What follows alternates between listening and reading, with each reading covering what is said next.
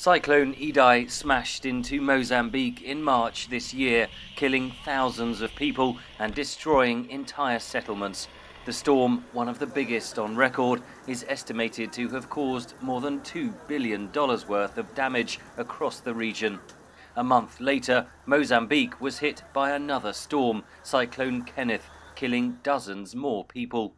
Never before has this country been hit by two cyclones in the same season. Save the Children says 2019 will be remembered as the year that the climate crisis devastated parts of eastern and southern Africa.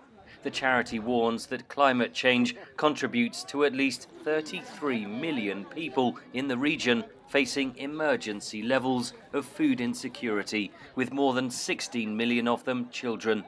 The link to climate change is actually the compounding effect of uh, emergency after emergency after emergency. So the ability for, for people to recover from a shock, um, like a drought or, um, or a flood at the moment even, um, is, is getting less and less and less and therefore their livelihoods are slowly but surely being eroded uh, and, and literally washed away. A 2015 Intergovernmental Panel on Climate Change report shows temperatures rising in southern Africa at twice the global rate. Save the Children says leaders of industrialized nations must commit to bigger cuts in greenhouse gas emissions and greater support for those most affected by climate change. If you are a child growing up uh, in eastern and southern Africa, um, your chances of survival are currently being affected by actions that are taken by people in a completely different part of the world to which you have very little control or, or, or effect on.